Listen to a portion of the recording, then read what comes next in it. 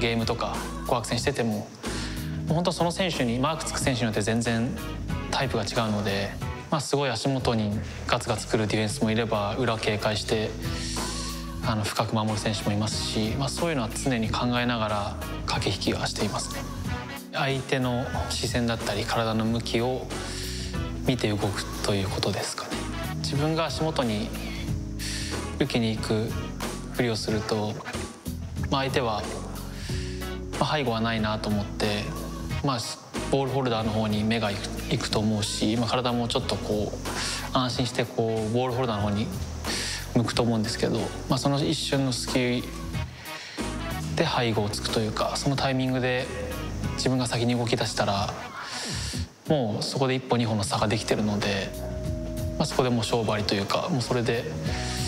ま、ゴールに直結するプレーができてるのかなと思いますね。足元から離れすぎないようにとにかくピタッと止めることを意識して、まあ、大きすぎたらキーパーの方まで行ってしまいますし、まあ、足元に入りすぎるとまあ追ってくるディフェンスに追いつかれちゃうかもしれないので走っている自分のスピードを殺さない一歩分ぐらい前に置くのがベストかなと思います。練習中から常に自分が裏取れててもパスが来なければ意味がないのでま裏取れてる時はその都度毎回パス出しの選手には今取れてたから出してほしいっていうふうに言うようにしてますね。甲府戦のゴールなんかもゴールのシーンは一瞬の隙で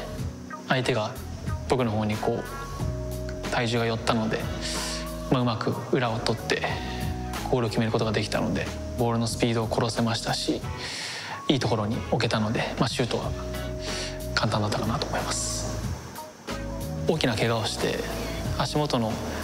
技術が正直言って落ちたというか